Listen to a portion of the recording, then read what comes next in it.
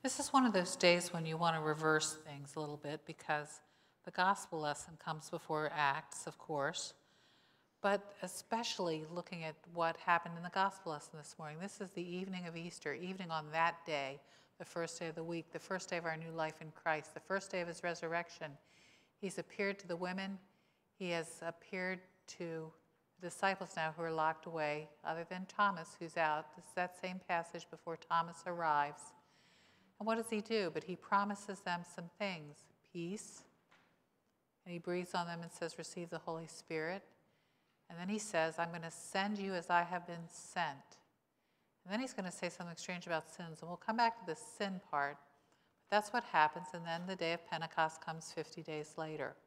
Now, here's your biblical question of all times. If anybody gets this right, I will give you the chocolate that I have in my office if I indeed have any left. I don't know if I do, but I'll get you some more. What was the Jewish, why were all the Jews gathered at Pentecost? They called it something else. What did they call it? The Feast of Weeks. Who said that? What was the Feast of Weeks about, Miss Debbie, who just won some chocolate? A harvest festival. Now, when you have the festival of Passover, which happened 50 days before this, I hope you all know that Easter is the one Christian observance that happens on the lunar calendar as opposed to the solar calendar. Solar calendar, which is why Christmas always falls on the 25th of December, but Easter moves like Passover and always happens near Passover. Shavuot, I think it's called Shavuot. Shavuot, I can never say that right. Shavuot is Shavuot. Shavuot. Shavuot. That's it. That's it. She works in a Jewish school. This is why she knows these things now. Shavuot. Shavuot, instead of having no yeast in your bread, instead of having that, that unleavened bread, they have bread with yeast, wheat bread, good bread.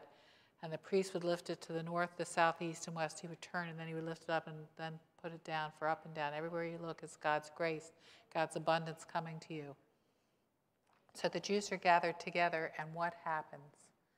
Something that they don't expect. The Holy Spirit is poured out upon them as they gather in one place. Suddenly from heaven there comes the sound like a rush of a violent wind.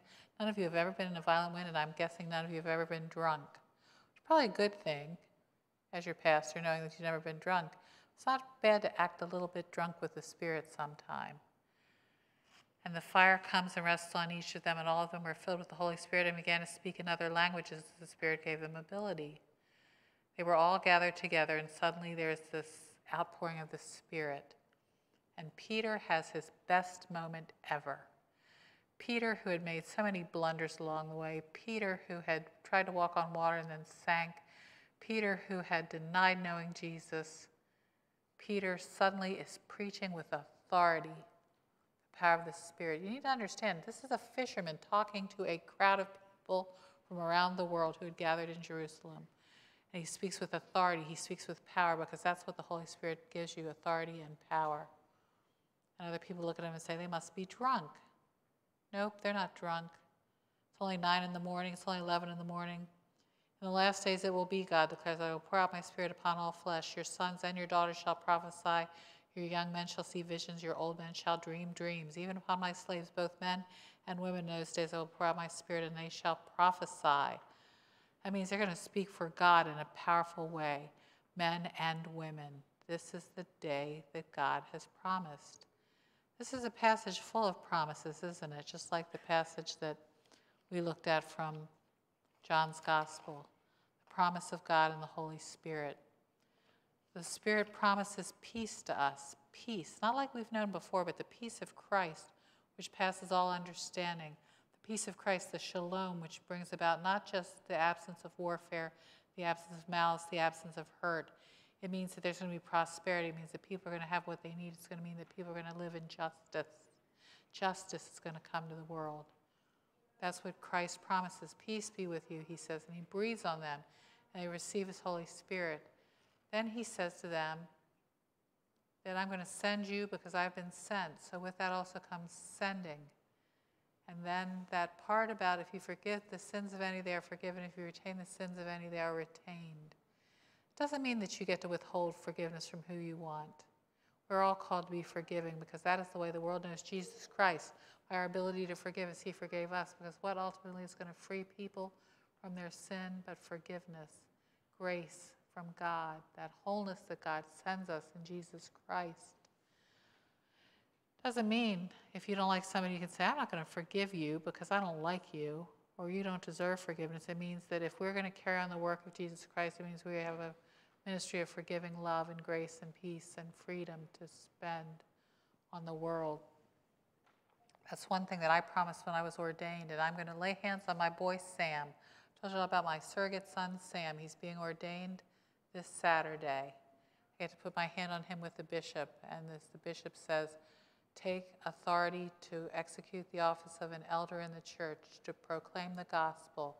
What Sam is going to promise is what people have promised for years. I will practice a ministry of grace and reconciling love. That has gotten me through so many times when I thought I'm not going to be able to do this job forever. When I practice a ministry of grace and forgiving love, it means I have to forgive people no matter what they've done to me what they've done to each other, what they've done to hurt those they love, what they've done to hurt the world. I have to forgive them because I am a minister of Jesus Christ who has been given the Holy Spirit for just that purpose. But it's not just for clergy, it's for everyone. We are called to a ministry of reconciling love, grace, peace, and forgiveness of sins. That's how people will know we belong to Christ if we can forgive them in Christ's name. So we're going to move from resurrection to revival.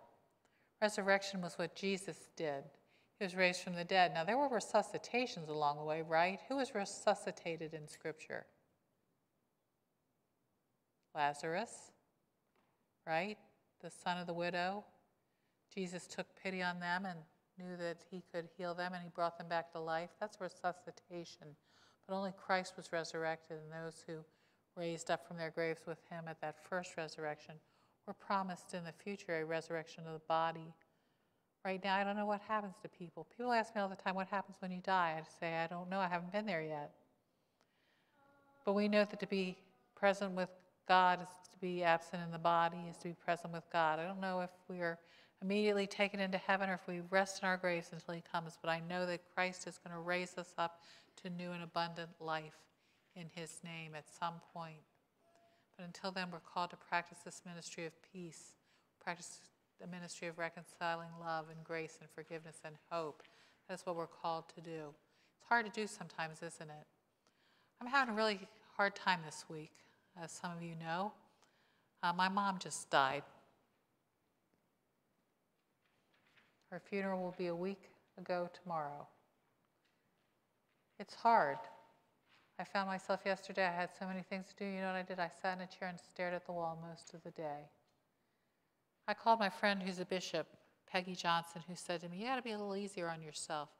Treat yourself like you treat somebody in your congregation when they're grieving. It's hard to do, though, isn't it, to treat ourselves with the same love and grace we show everyone else. When it comes to forgiving, sometimes we're faster to forgive others than we are to forgive ourselves. But we have got to live the life of a disciple. We got to let that fire come into our hearts and light us up and go send us into the world We act like a little bit drunk with the love of God, or we're never going to show that to anyone else. So I need your prayers this week, and I'm glad Alexa prayed for me today. That's what I need. I need prayer. And I need to pray for you all. We need to pray for one another in our need right now. So many of us are grieving. I look at the people who've lost their spouses this year in this congregation.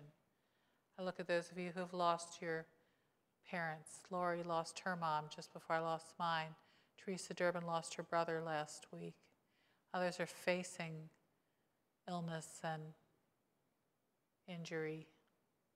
We're called to lift each other up in prayer so that the Word of God might dwell in us, that we might send each other into the world filled with the Holy Spirit. So we're going to pray now. What I want to do is to pray that prayer from before, because we need to be revived, don't we? Revival doesn't mean to be brought back from the dead, but revival means to get that fire in you, get a little Holy Spirit into your life again. So I want to ask you now to call out things in the world that need to be revived, that need the power of the Spirit to touch them. And then I want the rest of us to say, Come, Holy Spirit, because that's how those things happen. So, what needs to be revived in our world today? Let me start us out. Compassion needs to be revived. Come, Holy Spirit. What else needs to be revived in the world today? Joy. Joy. Amen. Joy needs to be revived in the world today. Come, Holy Spirit. What else? What? Love needs to be revived in the world today. Come, Holy Spirit. Happiness needs to be revived in the world today. Come, Holy Spirit. Civility. Amen. Come, Holy Spirit.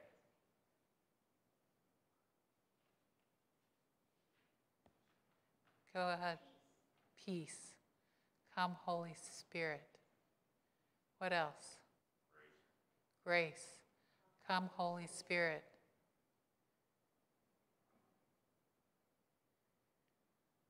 Unity. Come, Holy Spirit. Empathy. Come, Holy Spirit.